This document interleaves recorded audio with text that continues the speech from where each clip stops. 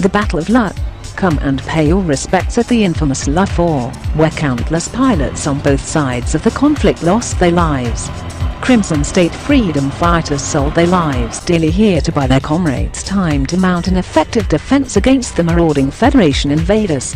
This historical destination was suggested by Commander orfeboy.